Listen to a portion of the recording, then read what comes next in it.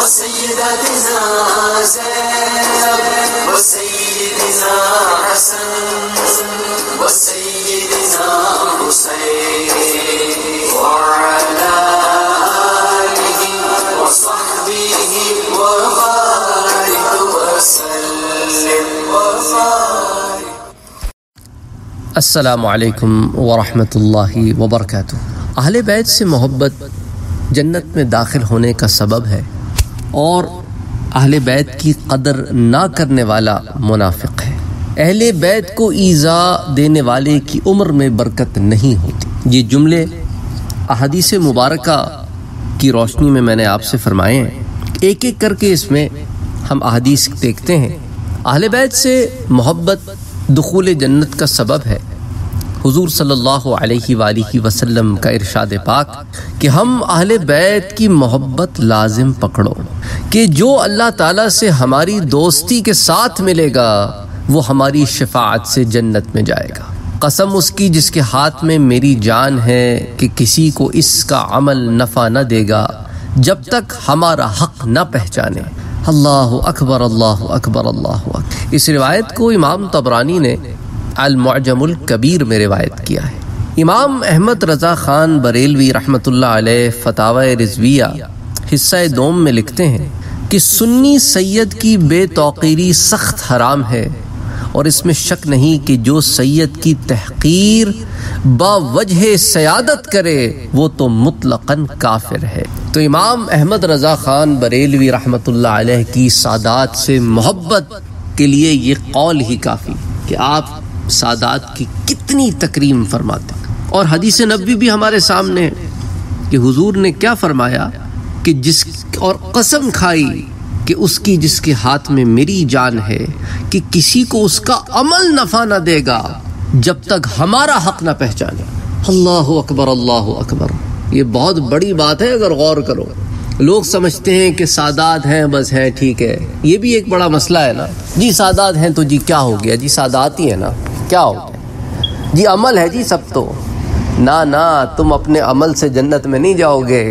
तुम अल्लाह के रहम से या अल्लाह के फजल से जन्नत में जाओगे। पर इसका ये मतलब हरगिज़ नहीं है कि अमल ही ना करें। पर यह तकिया ना करो कि अमल बड़े हैं तो जन्नत में चला जाऊँगा। इस जोम में ना रहना कि अमल कि अमल बड़े हैं तो जन्नत में चला जाऊँगा। अल्लाह अकबर अल्लाह अकबर। ये फितने वहीं दम पकड़ते हैं जहाँ सरकशी बहुत होती है।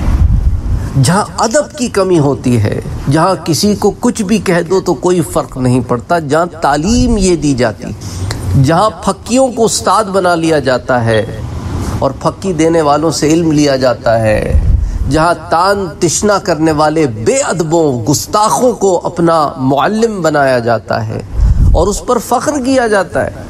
तो फिर उसका नतीजा ये निकलता है कि अदब खारिज हो जाता है और बेअदबी आम हो जाती है और फिर उसका नतीजा इंसान भुगतता है।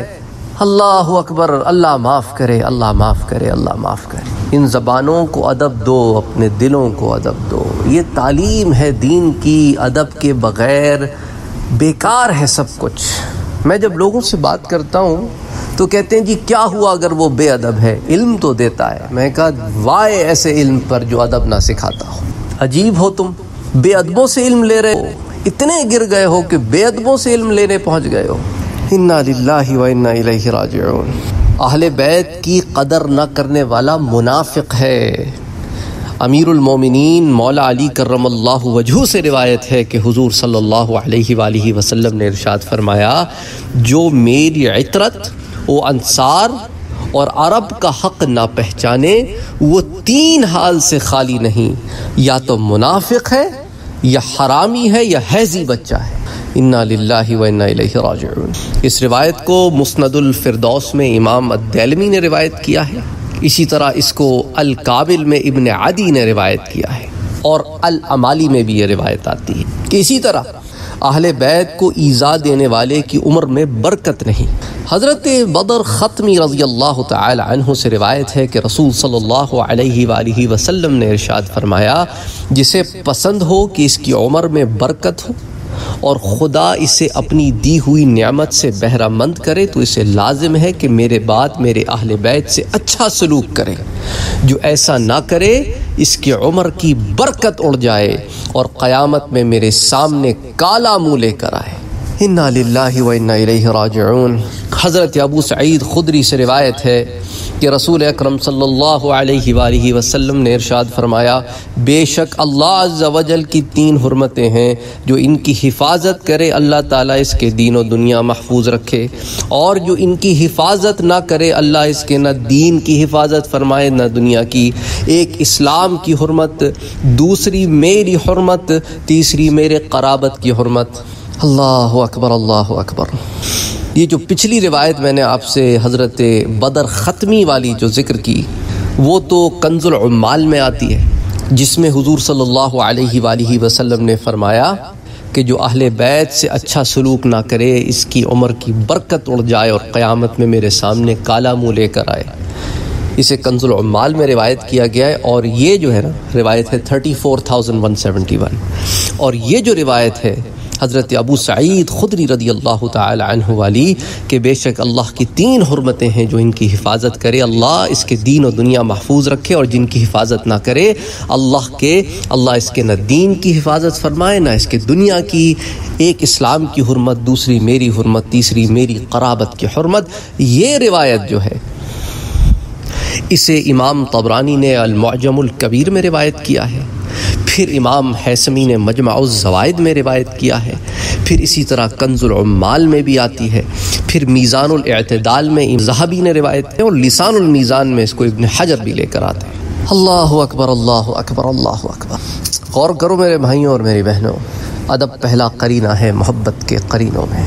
अहल बैत के मामले में बहुत एहतियात की ज़रूरत है। और हुजूर सल्लल्लाहु अलैहि वसल्लम की आल के मामले में भी बहुत एहतियात की ज़रूरत है। कुछ कुछ गुस्ताखों, बेअदबों को कुछ, जब कुछ कह दिया जाए तो उनके जो फॉलोअर्स हैं, उनकी ज़बानें इतनी दराज हैं, इतनी दराज हैं कि जब इल्म ही बेअदबी, बेअदबों से सीखेंगे तो आगे ज़बानें दराज ही होंगी। कितने ही हैं जिन्होंने अजीब व गरीब चीज़ें मेरा नाम पढ़ने के बाद मेरे आग सामने लिखी हैं। फिर मैंने उनकी उस तरफ़ तवज्जो दिलाई कि तुम कह रहे हो, किसको कह रहे हो पता है? हम आल मोहम्मद हैं। तुम आल मोहम्मद पे ये बात कर रहे हो, रोज़ महशर में हम तुम्हारे गिरेबान पकड़ेंगे और पूछेंगे तुमसे कि तुमने आल मोहम्मद को ये बात कही और बात हमने दीन की कही तुमसे। पर तुम में इतना बुग्ज है, इतनी गुस्ताखी, इतनी बेअदबी है कि तुमने आले मोहम्मद को ऐसे कहा, नाम पढ़ने के बाद कहा। अल्लाह अकबर अल्लाह अकबर। वजह क्या है? वजह क्या है? वजह यही है कि अदब ही नहीं, अदब ही नहीं। बस जो हमारी अक्ल में आ गया, बस वही सब कुछ है। जो हमारी समझ में नहीं आया या जिससे हम इल्म हासिल करते हैं, उसने नहीं पढ़ाया तो वो है, ही नहीं। गोया इल्म ही नहीं है। इन्ना मैं बर बिनाए फ़ख्र नहीं कह रहा ये बात। ये जो आपसे आले मोहम्मद की बात की है, बर बनाए बनाए फ़ख्र नहीं कह रहा। इसलिए कह रहा हूँ कि अदब पहला करीना है मोहब्बत के करीनों में। हुजूर ने यह अदब सिखाया है। हुजूर ने अपनी आल का, अपनी कराबत का अदब सिखाया। जो इसका पास ना रखे, उसके लिए ये रिवायतें काफ़ी हैं सुधार के लिए। असलकम वरहमल वर्का अगर आपने अभी तक हमारे चैनल को सब्सक्राइब नहीं किया है तो सब्सक्राइब का बटन दबाएँ, बेल के आइकॉन को प्रेस करें ताकि आपको रेगुलर नोटिफिकेशन अपडेट्स मिल सके और आप हमें हमारे लाइव सेशंस में भी ज्वाइन कर सकें। वीडियो पसंद आने की सूरत में लाइक शेयर और कमेंट करना ना भूलें।